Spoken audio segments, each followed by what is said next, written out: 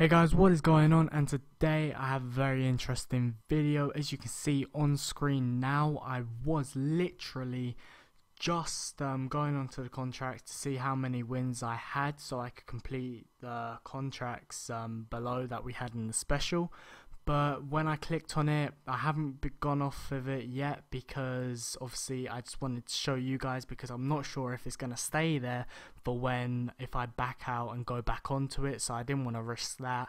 So as you can see it's got some kind of blue squares over the weekly and the daily contracts and they also have the challenges you have to do for one of them or not the challenges but what you get for doing the weekly challenge which looks to me like blackjack and um, a bribe supply uh, a bribe um, supply drop which is pretty interesting but I don't know what challenges you have to do.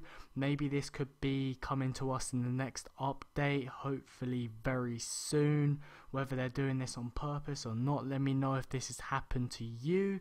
Um, but I'm just gonna back out right now and see whether it sticks so we'll do that.